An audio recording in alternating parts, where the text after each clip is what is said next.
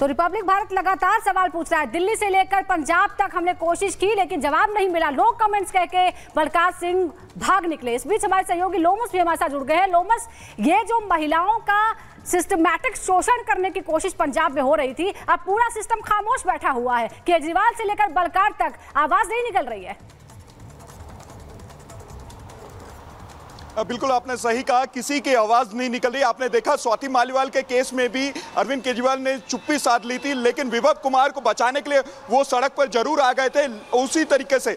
जब आम आदमी पार्टी के जो पंजाब के मंत्री हैं, उन पर सवाल खड़े होते हैं कि उनने, उन्होंने युवती को नौकरी दिलाने के एवज में उनके साथ वीडियो कॉल करके गलत गलत हरकत की, उस पर भी वो चुप्पी साध लेते हैं और खुद बलकार सिंह, जिन पर आरोप लग रहा है, वो खुद चुप्पी साधते हुए दिखते हैं। केवल एक शब्द मुँह से निकलता है नो कमेंट्स क्या इस नो कमेंट्स के पीछे एक बड़ा राज छुपा है।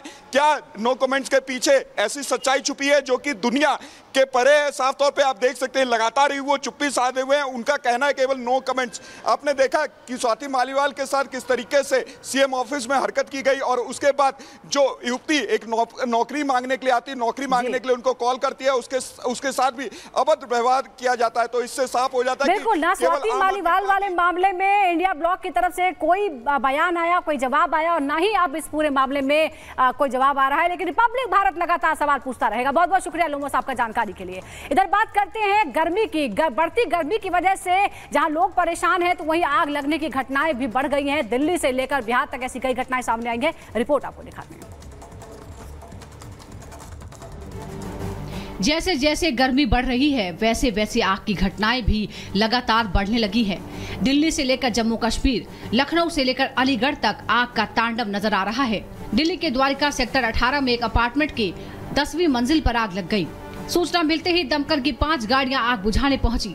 दिल्ली दमकल विभाग के मुताबिक बढ़ती गर्मी के कारण रिकॉर्ड तोड़ कॉल्स मिल रही हैं। 28 मई की रात 12 बजे से 29 मई के रात 12 बजे तक 220 कॉल्स मिली थी। वहीं उत्तर प्रदेश की राजधानी लखनऊ के एक गोदाम में भी आग लग गई, जिससे लाखों का नुकसान हुआ। इधर अलीगढ़ के मथुरा रोड पर कूड़े के ढेर में आग लग गई। इस आग ने बड़े इलाके को अपनी जद में ले लिया। जम्मू कश्मीर में भी अलग अलग जिलों में आग का खेल जारी है। उधमपुर में एक स्क्रैप गोदाम में आग लगी तो वही राजौरी में हीट वेव का कहर देखने को मिल रहा है। जंगलों से लेकर कई इलाकों में आग की विनाश लीला देखने को मिल रही है। Bureau report, Republic Bharat.